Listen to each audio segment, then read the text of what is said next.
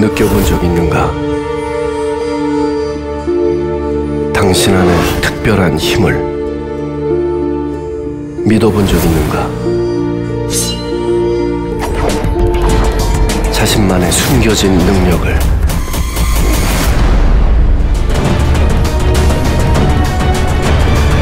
무림